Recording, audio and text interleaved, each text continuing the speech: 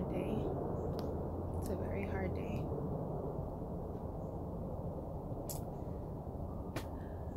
I don't know what to do anymore. I don't know. I don't know what to do. So I'm in the greenhouse. Um, I was really happy because for the first year ever, all of the plants in the greenhouse really basically made it through the winter. And um, not sure if it's because it's the end of the winter season and there's very there are very little options for rats to forage for outside, but plants that have been in here that are two years old, plants that are three years old, they came and they destroyed my greenhouse. Dug out.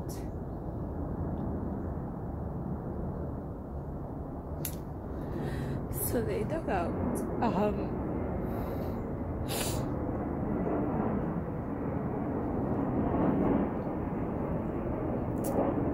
everything.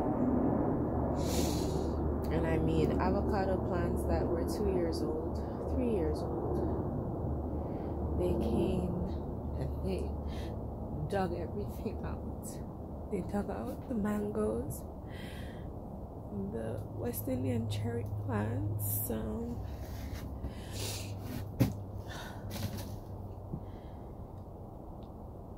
they ate down my the apple plants. There's pretty much very little left in here. Very little. And there's only so much a person can take. We've had challenges before. Um, I've lost a lot of plants for different reasons flooding, um, trees fell on the greenhouse. Um, but I was really starting to think we really had a handle on everything. And um it's just really hard to make it to March and have to start over. So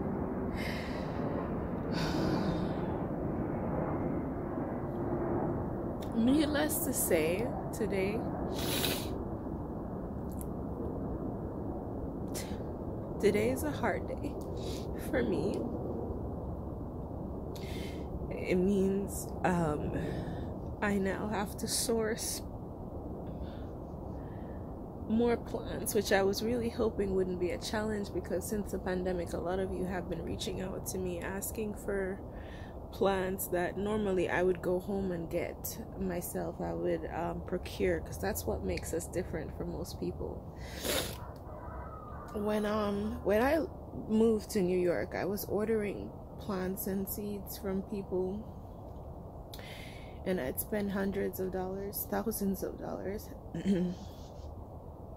for my own benefit, buying these things, and then you know their their return policy would expire after 60 days. And by the time the things came to fruition or by the time i realized they weren't germinating or something was deceptive about the the plants i received it wasn't the variety that they said it was or it wasn't any special heirloom that i'd never seen before with you know photoshop pictures and stuff there was no recourse. I couldn't get my money back. I couldn't get, you know, plants that actually met my needs. So I went the more expensive route and literally went home and formed partnerships with local farmers and started sourcing my own plants and sharing them with you, which is really how my exotic secrets was born. Um, and since COVID 19, I haven't traveled. Um, we're expecting a baby in another, a little over a month. So now is definitely not the time for me to travel. Um, uh, so it's gonna be more challenging for me to find a way to get that authenticity to you guys this year is where this is going because I just lost 90% of our inventory. But I'll keep you posted and I will let you know how things are going. Even if I am able to get you, um, and I do have an idea on how I can get you plants, it may not be mature plants because I think that was one of the um, concerns that some people had. Not everybody is a green thumb per se, and um, getting plants from saplings to uh, bonsai trained mature plants that are producing was challenging for some of you and I'm gonna try to see if I can find a way to accommodate all of that this year. I probably need to get out of here. The more I look at the stuff, the harder the day gets.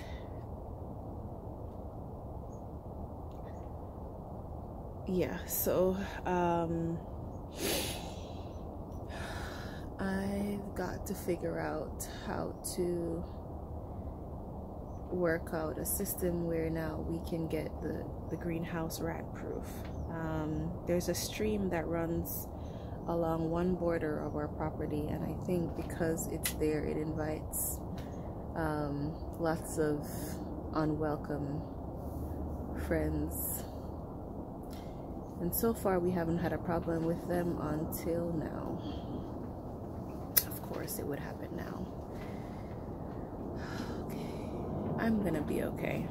I'm gonna be okay. You're gonna be okay. We're all gonna be okay. Um, I just need to. I, I mean, look, look at that. Look at that hole. Look at that gaping hole. They tore up the place. Like just dug out everything and tore up the place. So um, they're eating down this um lemon plant. So i am lucky to even have a couple of buds on there, but I'm pretty sure they'll be gone by the end of the week. So, yay, good times. I'll let you know what's going on and what we'll be able to provide for you, what we'll be able to salvage. I'm gonna have to work on reinforcing the greenhouse this week. Great stuff thanks for sharing this moment with me. I know it wasn't a fun moment, but thanks for being here for it. I'll let you know how it goes.